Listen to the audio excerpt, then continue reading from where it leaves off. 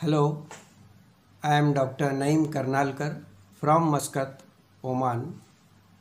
I offer my best wishes and congratulations to Dr. Shrikant Patil, Director, Department of Lifelong Learning and Extension, Sant Ghadge Baba Amravati University in Amravati.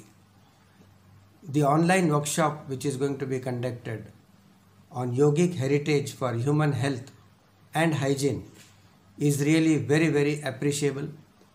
By this workshop the participants are going to become more healthier. And also it will give the importance of good health by yogic exercises. Without good exercise one cannot enjoy sound health. And yogic exercises will definitely benefit the people and the population and the participants. I am very, very confident that this will benefit to one and all.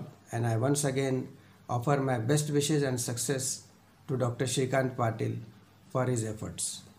Thanks a lot. All the best.